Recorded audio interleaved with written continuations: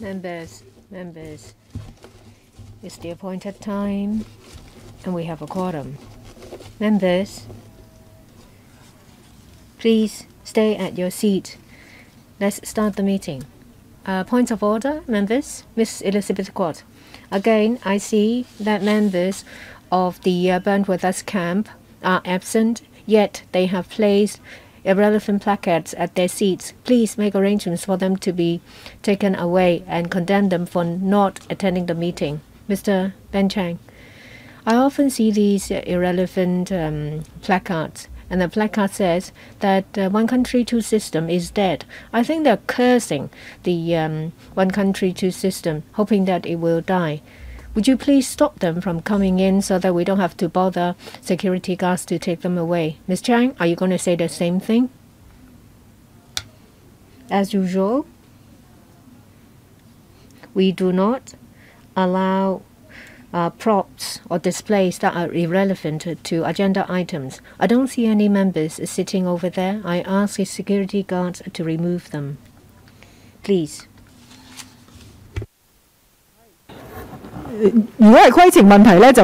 If it's a point of order, please raise your hand. Mr. Steven Ho. I think you have not expressed yourself um, accurately. Whether there is anyone sitting there or not, these placards will have to be taken away.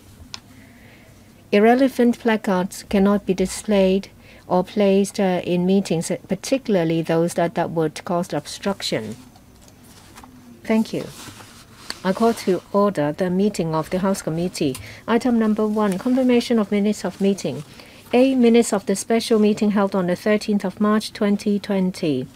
Bre paper number CB bracket 2, 1 to 40, stroke, high, uh, stroke 19 to 20. B. Minutes of the special meeting held on the 20th of March 2020. Paper number CB bracket 21241 stroke 19 to 20. Item C. Minutes of the fifth meeting held on the 15th of the 19th of June 2020. Paper number CB bracket 21244 stroke 19 to 20. These minutes of meeting have already been given to members before the meeting. So far, members have not uh, proposed any amendments. I ask members to confirm these three sets of minutes of meetings. Any objections? No. Confirmed. 2. Matters arising. Report by the chairman on her meeting with the chief secretary for administration. I, with the deputy chair, has expressed members' views on Monday. Concerns expressed in the last uh, House Committee meeting. They cover the health code, the anti-epidemic fund, the uh, concessionary transport fare between those aged between 60 and 64, creation of jobs as well as um, um, order of business relating to legislation and um, bills. The CS said that on health code, the government has been under the framework of um, prevention and control of a disease of um, Guangdong and Macau as well as uh, Hong, uh, Hong Kong making uh, have been making discussions. There are so far 14 laboratories and hospitals that can provide the tests. The government expects that with competition the testing fees will be driven fees uh, will be driven down. However, uh, for out of caution, uh, the Guangdong as well as Hong Kong government will put in place a pilot scheme and taking small steps to consider offering exemption to people who have to travel amongst these three places for business or uh, for um, similar reasons. They will be exempted from the 14 day quarantine. Quarantine. When the details are ironed out, the uh, announcements will be made. Under the anti-epidemic fund, there are so far 60 different uh, programs being launched covering different areas. The government has been talking to stakeholders, trying to understand the impact of the pandemic on them. The government could, will continue to maintain flexibility and if um, conditions are right, offer various assistance to different sectors as well as practitioners. Three, in relation to transport fare concessionary fees covering those between the age of 60 and 64, the Labour and Welfare Bureau has already asked asked uh, their uh, consultant to find a practical solution for implementation in their review. The uh, research is uh, going to be finalized soon. The government will wait for the receipt of the uh, report before making announcement of the implementation details. Four, the government understands that uh, for those tenants that have been allocated a unit in uh, Chun Yeung Estate in Fo Tan face uh, housing needs. Depending on the development of the pandemic, the government will consider whether to continue to use um, this housing estate as uh, facilities and will make an announcement as soon as possible. Five, in relation to creation of jobs, the government has, under the anti-epidemic funds, earmarked $6 billion to create 30,000 jobs um, in the coming two years in the public and private sectors. As at mid-June, 700 government um, posts have already been filled, and they also are conducting a recruitment exercise for 6,000 jobs. The government bureaus as well as departments have been talking to different um, sectors and uh, professions, say, for example, survey, engineering, landscape, etc. They will uh, consider launching suitable um, employment schemes in due course. Well, uh, the three programs launched in June and July will offer 3,000 time limited posts. In relation to the um, resumption of second debate of bills, the government said that uh, there will be 13 such bills um, on the 8th of July. The government expects that um, hopefully all these um, debates will be completed before the end of the session on the 18th of June. I ask members to note that Mr. Horace Cheung as well as uh, Mr. Gary Chan has sent me a letter on the 24th of June asking for a special meeting of House Committee on the arrangement of the health code. I've already instructed the clerk to send a letter of request uh, to the CS attached with the two letters. So far, we have not received any reply from the CS. A number of members have already pressed the button.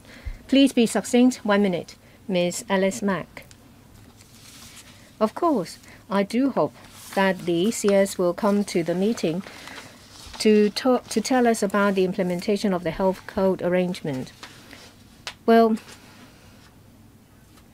I have received from over 400 uh, families asking for assistance. They are cross-boundary families. They need to come to go back to the mainland, but they have a job here in Hong Kong. They cannot um, they cannot possibly do the um, 14 day quarantine on both sides. Please take into account their needs. Under the pilot scheme, please include cross boundary families. I heard from you, Chairman, that um, well, the pilot scheme will only cover people who have to come uh, to Hong Kong or go to Guangdong or Macau on business matters please do consider the urgent need of cross-boundary families. And I need the CS to come to explain about how they're going to take care of uh, the, the needs of these families. Ms. Elizabeth Quat, please ask the CS to launch the health code as soon as possible. They should cover Macau as well as cross-boundary families. I heard from um, Dr. Lo, Ch- Lo Chung-mau, the dean, said that, um, well, um, the cost of these um, testing agents can be as cheap as $15, but in Hong Kong, it will cost um, close to $3,000 for such tests. Why can't the government buy in bulk? Maybe uh, also buy in bulk uh, with the Guangdong province to drive down cost. On top of that, please follow up uh, with the CS that according to the policy address delivered on the 14th of January, those between the age of 60 and 64 will enjoy a $2 transport fees. But now we're told that uh, it will only take place next year. It's a very simple matter. Please implement uh, these uh, transport concessionary fares for those between 60 and 64 as soon as possible. Mr. Gary Chan, I sent you a letter asking for a special meeting. There are many problems with the health code the high testing fees, slow progress, and uh, a small quota. People who have families on the mainland and those who have to work across the border uh, encounter problems, but they are ignored. A lot of families, because of the quarantine arrangement, cannot see each other, and some of them also have their work affected. Now you cover businessmen and professionals, and the scope is too limited. I asked the CS not to take it slow. Come to the House Committee for a special meeting as soon as possible. If he is busy, perhaps can we extend the House Committee by one or two hours, asking the CS to come to talk to us? I do think that uh, my wish is shared by a number of members. Mr. Ronick Chan. I do agree that there should be a special meeting asking the CS to come to talk to us about health code. I'm concerned about um, the exemption on the financial services sector. Currently, it's uh, for policy bureaus to decide who will get exemption. The FSTB now covers uh, management of uh, listed companies as well as accountants. I've expressed um, our, our, views that uh, there is an urgent need for the banking sector to have the exemption. I've made an application to Mr. Hui, the Secretary. Is it mutually exclusive uh, for the uh, for the exemption and the health code to coexist?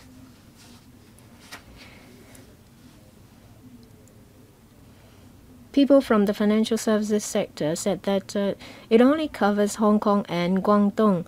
What about other provinces? Will there be a timetable for the scope to cover them as well? Mr. Yiu Si-wing. We've mentioned a number of times about health code. Well, the um, tourism commission has talked to some laboratories they don't want to spend too much resources to um, on these um, facilities to drive down cost. Can the government set down rules or a, or time or a timetable to at least give a direction about the future development so that laboratories can make preparations? The fees stay high. What they need is um, is a, is a direction given by the government. I hear that uh, in July there will be opening up between uh, Macau and Hong Kong, but if the fees stay high, it uh, uh these uh, opening up will exist in name only. Please give us some specific um, details. Mr. Holden Chow, Madam Chair, whenever I uh, visit the community with Mr. Leung Che-cheung, uh, the members of the public would ask us about the health code.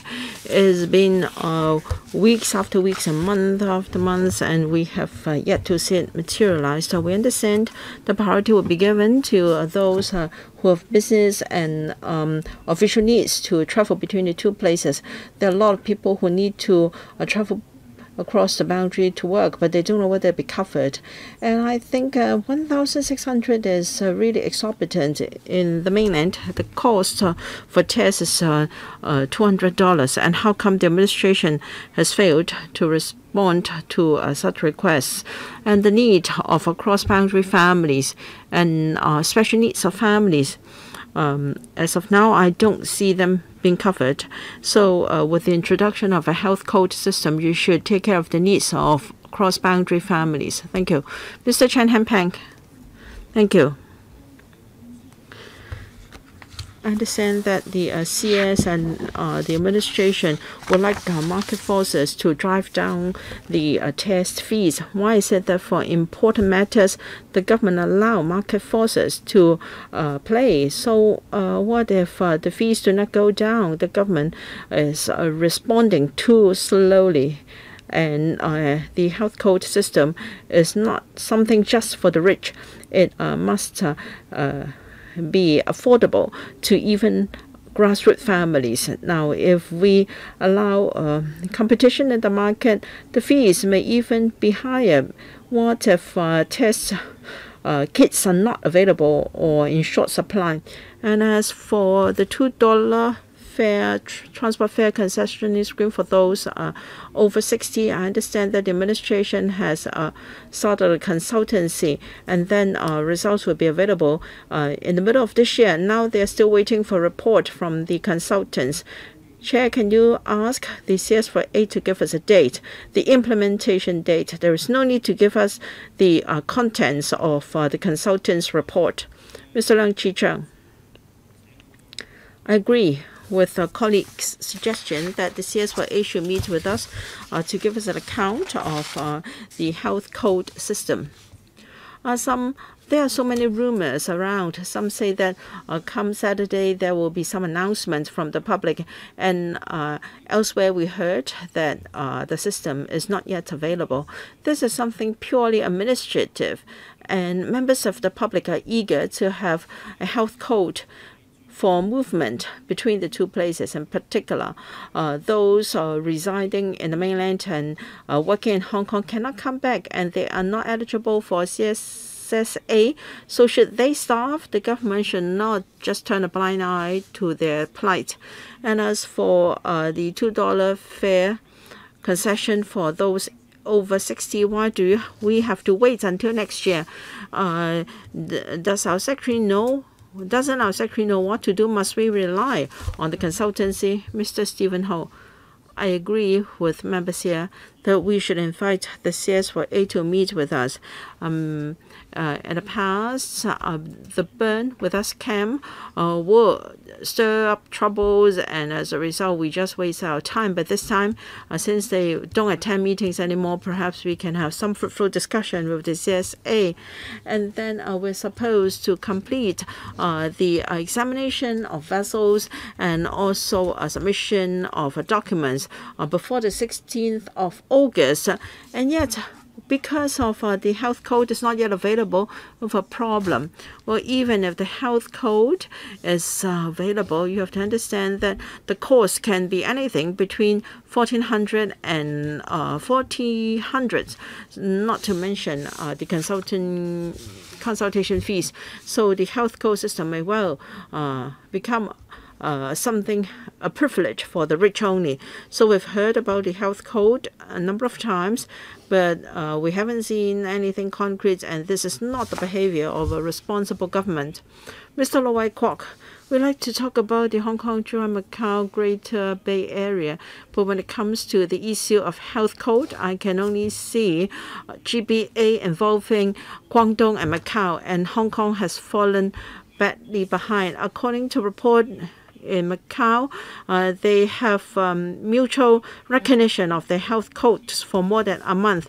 15,000 uh, Macauese and uh, close to 20,000 mainlanders now can uh, switch their Macau health code for a Guangdong code and then uh, 5,800 uh, people from um, uh, Macau and 50,000, 53,000 people from China that can switch their health codes. And this has been up and running for more than a month. So, what are we doing here in Hong Kong?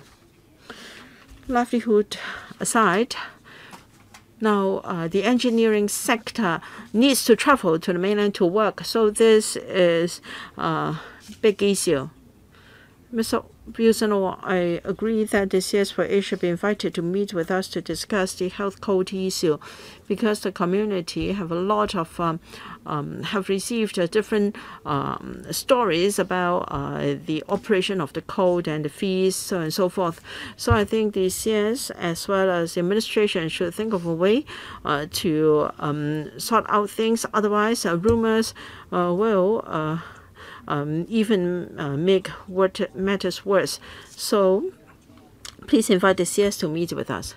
And uh, as regards uh, the occupation of Chun Yeung Estate, uh, the CS reply is disappointing. I understand that the uh, epidemic is still uh, volatile, but then for the prospective tenants of Chun Yeung Estate, they face tremendous difficulties. Uh, the new term will start in September, and these families are still living in subdivided units. Uh, Chair, please uh, relay our concerns to the CS once again. Mr. Shiu Ka-fai, Well, for the health code issue, we've been discussing it for three weeks uh, in the House Committee as well as in the Health Services Panel. We have uh, raised our concern to the Secretary for Food and Health. I think uh, we should allow stranded people uh, in the mainland to come back to Hong Kong uh, to uh, address the economic impact and I have seen uh, persons in charge of a, a large chain uh, stranded uh, in the mainland and he has to come back for important meetings. So it's not just uh, the um, bosses and employers that are affected. And because the test fees are so high, they are hardly affordable to members of the public. Macau has already uh, successfully implemented such a code. And if we can't, what are we doing? You have to tell the CS that he must not drag his feet anymore. Mr. Miss Rebecca, uh, Miss Yennis Young, yes, also on health code. Many members want a special meeting convened on this topic. This is an urgent matter. We have uh, uh, been talking about this for two weeks, and in an oral question in the council chair, you also asked a uh, similar question many cross-boundary families are waiting. So uh, if the test has to be done once every seven days, now the price is a problem, and you allow market forces to work it is unacceptable. The government must uh, shoulder a part of the cost. So the government can suppress the uh, test fees uh, by uh, using uh, test kits made in the mainland. For instance, I have received many uh, cases. Well, they uh, have um, or they might have uh, relatives um, who passed away on the mainland and they come back, they asked me whether the health code is already in force. So you must ask the CS to respond ASAP. Uh, since uh, many members uh, have a lot of questions on, on my meeting with the CS for A, well, uh, I understand your concern, and then our term is uh, coming to an end, so I've allowed you to uh, spend 30 minutes on this already. If I may borrow 10 minutes from the Finance Committee, is the chairman of the FC um, allow okay with this? Yes. Dr. Zhang Lai I said that the Senate of uh, the U.S. passed a Hong Kong Autonomy Act this morning, and that is with the uh, implementation of the national security law in Hong Kong, the autonomy of Hong Kong would be undermined. As we all know, there has never been autonomy in Hong Kong. Article 12 of the Basic Law is very clear. Hong Kong enjoys a high degree of autonomy. Directly under the uh, Central People's Government of the PRC. And uh, the contents of the act is uh, rather outrageous. Uh, not just uh, public officials, but uh, private uh, citizens and enterprises would also be sanctioned. I think this is a threat to Hong Kong. So perhaps the CSYA should write to them and tell them clearly that we enjoy a high degree of autonomy, but not full autonomy. And if they threaten Hong Kong people like this, we don't rule out imposing sanctions uh, to those who uh, advocated or started all such um, acts like this. Mr. Steven Ho? No, no, no. I uh, regarding uh, your script about your meeting with the CS4A, did you uh, mention to him that we would uh, like the CS to come and meet with us? I did. Well, we asked for that last week. Well, I uh, relayed your requests to her, and uh, this week we have got a letter from uh, members here. Many members have strongly asked that the CS come to meet with us on topics not just uh, the health code, uh, but immigration uh, policies and also control of um, diseases. And I think it is um, appropriate for the CS to lead a team and uh, come to give us a report. I think uh, the CS uh, is following our proceedings as well. I hope uh, it, he can respond as soon as possible and uh, launch uh, the health code system ASAP. Mr. Michael Tien, are you on the same topic? Mr. Michael Tien, you raised a question about the Chun Yeung estate and the CS said if need be, if if uh, the uh, state uh, needs to be used for the epidemic, he will make announcement. Now, the traffic concessionary fare for those who are 65. Well, many of them use a green card. And now the MTR staff may uh, check you, may uh, check on your ID and your age. So I think the government just need to relax the uh, age, eligibility age. I've been frequently scolded by people in the community. Those who are over 65, they are using that um, card and you need only to announce that those who are between 60 and 64 they can use the same card and uh, uh, for public transport and they won't be um, and that would not be against the law and that will do. All right. If uh, the issues are directly related to a particular panel uh, you should uh, take it up at the respective panel first however many panels have had their last meeting of the term, and uh, this term is also drawing to uh, an end. And I'm happy to uh, relay members' concerns to the CS. And Mr. Michael Tien, for the issue you just mentioned, I believe we have. Um, uh, put it to the administration a number of times, and I think uh, you have uh, represented the wish of those between 60 and 64, and they wonder how come the government has not introduced this earlier. All right matters arising from previous business meetings. Um, we have LS 101. Um, uh, LS 102 stroke 1920 um, report from the Legal Services Division. Yes, our report covers three regulations. The first is uh, Pharmacy and Poisons Amendment Number 3 Regulation 2020 to add three substances uh, to uh, Schedules 1 and 3 so that these substances are subject to restrictions with respect to their sales, supply, labeling, and storage, and they can only be sold by retail upon a prescription given by a registered medical practitioner, registered dentist, or registered veterinary surgeon.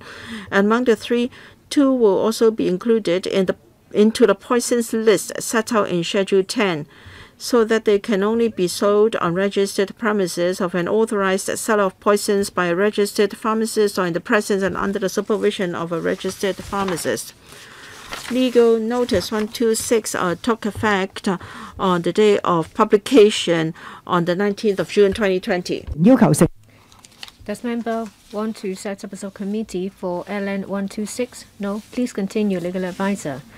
For the other two, that is uh, LN 127 and LN 128, they are made under Pensions Increase Ordinance and Wid Widows and Orphans Pension Increase Ordinance. It is uh, to declare that starting from the 1st of April 2020, in relation to basic pensions payable to ex-officers and dependents, as well as pensions payable to widows and orphans of officers, there will be an increase by 2.9%. This is formulated in accordance with an established mechanism, that is, an increase of the average monthly CPIA. In relation to LN 127 and LN 128, do we need a subcommittee? No. Let me remind members that in relation to the subsidiary legislation, deadline for making amendment is the second council meeting of the next session. If it's decided to, uh, that, that it should be extended, it can be extended to the 21st day of the second council meeting of the next session or the first one after that. Item 4 Business for the council meeting of 8th of July 2020. A. Questions.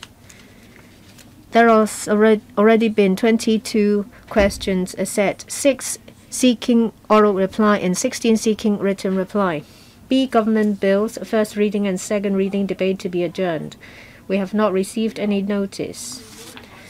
C. Government bills, second reading debate to resume consideration by Committee of the Whole Council and third reading.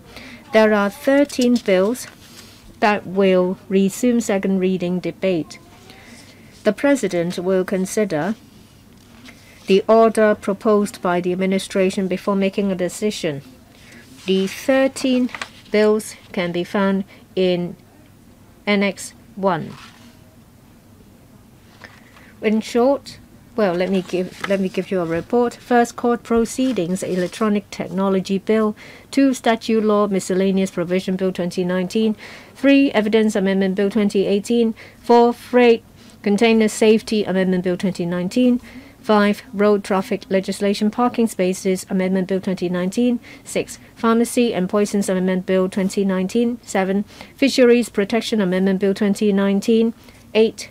Broadcasting and Telecommunications Legislation Amendment Bill 2019. 9.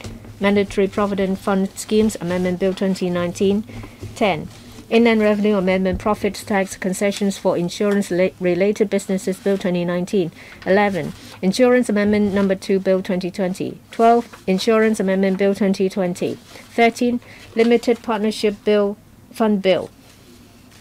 So there are 13 bills to resume second reading debate. Members, please make good use of uh, the time. If we cannot finish the uh, the second reading and the third reading, as per convention, they will have start afresh in the next session. D. Government motion. We have not received any notice. B. Members' motions. The council meeting will deal with uh, items standing over from previous meetings. Item 5. Report of bills, committees, and subcommittees. Report of the Subcommittee on Building Minor Works Amendment Regulation 2020 and Building Planning Amendment Regulation 2020. I ask Mr. Lo Wai to give a report on behalf of the chairperson, Mr. Tony Tse. Thank you, Chairperson. The two amendment regulations seek to include more small-scale building works under the minor works control system to provide for transitional arrangements and to make consequential amendments. The subcommittee has completed the scrutiny. Members support the two amendment regulations as it helps the public and the trade by including more small-scale works into the system. Members, on the other hand, urged the government to put in place sufficient supervision for ensuring the quality and safety of these small-scale works. They should also launch publicity and public education to inform the public. Since members expected an increase in volume of work, they asked the government to make sure that there is an adequate pool of prescribed registered contractors in carrying out such work in order to maintain competitive prices. In addition, members expressed concern on the safety of maintenance work on the external part of buildings. They inquired about such safety measures. I asked members to note the, the deliberations of subcommittees, uh, it, which is set out in the report. Thank you, Mr. Lo. Item 6 position on Bills Committee and Subcommittee. As at Wednesday, 24th of June, there are three Bills Committee in action. There are six subcommittees under the House Committee, that is, a three on subsidiary legislation, one on policy matters, and two on legislative affairs. There are six subcommittees on policy matters under panel. The session will end on the 18th of, well, the 17th of July.